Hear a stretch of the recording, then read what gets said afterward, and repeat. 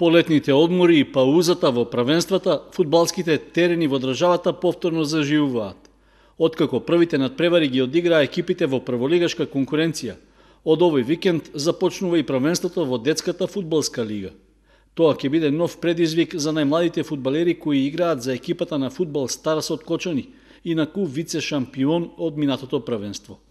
Во првото коло што се игра в недела, тие ќе бидат домакини и ќе ја пречекаат екипата на Куманово 2012-та, која е нова во лигата и без поголемо искуство, поради што би требало да представува лесен противник.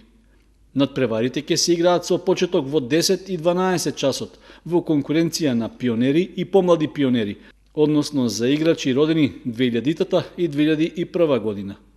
Според информациите од тренерот на Футбол Старс Симеон Митев, во екипата има и нови членови, односно засилувања од другите локални клубови од Кочани. Се планира над преварите во првиот дел од првенството повторно да се играат на игралиштето во Чешиново. Во меѓувреме, привршени се активностите за оспособување на теренот во Горни подлог, а се чека на средување на собликувалните за да се обезбедат основните услови за организирање на надпреварите.